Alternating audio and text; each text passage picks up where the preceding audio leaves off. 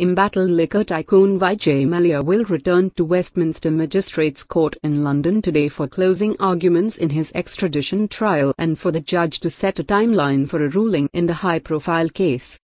The 62-year-old former Kingfisher Airlines boss, who has been on bail on an extradition warrant since his arrest in April last year, is fighting extradition to India on charges of fraud and money laundering amounting to around Rs 9,000 crores.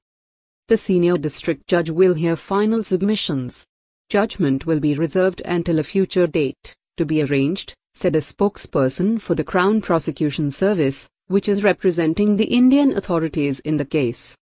At the last hearing in the case on April 27, the Central Bureau of Investigation, CBI, had received a boost in the case as Judge Arbuthnot confirmed that the bulk of the evidence submitted by the Indian authorities will be admissible in the case.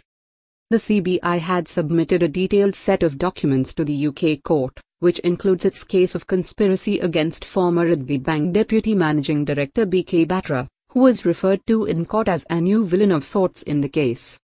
As per the Indian authorities' case of conspiracy, Batra reportedly colluded with Mallya in sanctioning some of the loans to the now defunct Kingfisher Airlines without following due diligence procedures.